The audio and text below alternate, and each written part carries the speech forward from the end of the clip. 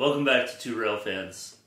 We did something that we've been wanting to do for a long time this week, and that is adding fascia board to our layout. So we're going to take you guys around and uh, show you what we did today, and also point out a couple things that we have been working on. Uh, so join us for the tour. If you haven't already subscribed, subscribe now. Thanks, David. So you can see we were able to con uh, contour cut this um, to the profile here on the layout. And so the wood is down here. Obviously this is just going into foam, but I put wood glue on this and the idea of the screws was just to help it hold at least until the wood uh, adhered. And that's, that's a good solid grip right there.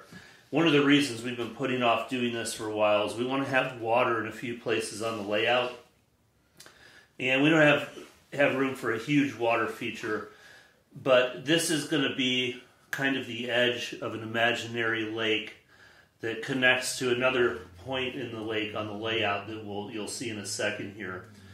So we had to decide which technique we were going to use on here because I've seen people just simply pour some of these liquids in or actually what we're going to end up doing is the uh, toilet paper method promoted by uh, Marklin of Sweden on his channel. I think he has some of the best looking water. So we needed to get this cut in order to get this profile cut here.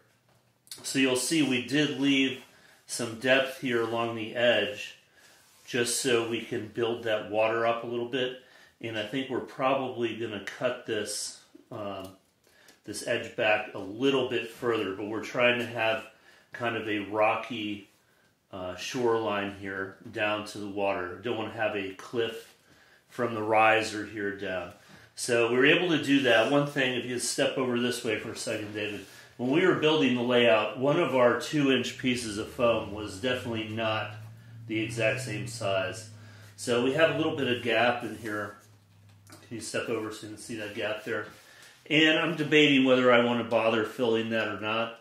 I think I may just leave it, but we're we're going to paint this uh, dark green probably in the next few weeks, and I think that'll help it kind of blend into the layout. As we pan over to the the middle section of the layout, um, you'll see where first of all I think the ballasting came out good. I still need to do cleanup on this, but pulled that tape we had off on here once the glue mixture got in there did kind of adhere. So I, same thing that I did down there, I'm just going to go back. I'm going to use joint compound, just cover that up and touch up the base coat of paint there, and we'll be ready to go.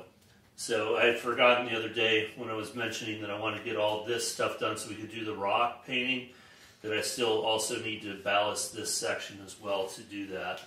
All right, so over on this section of the layout, this is on the town end. You can see we also cut back down to our bench work here. And this is going to be the other section where, where this same imaginary lake connects. So we're trying to have a couple small water scenes here. And over in this section, we're in the process of cutting in uh, space to put two culvert pipes. I was actually going to try and use this uh, spool from from wire, but that's that's going to be too big. If you guys have any idea what what I might use for a couple a pair of those, let me know. So same thing over here. We needed to get the contour cut down um, over by the edge of the layout to get that fascia board up. Um, and I think we're going to continue cutting back and reshaping this uh, until we get get the look we're going for.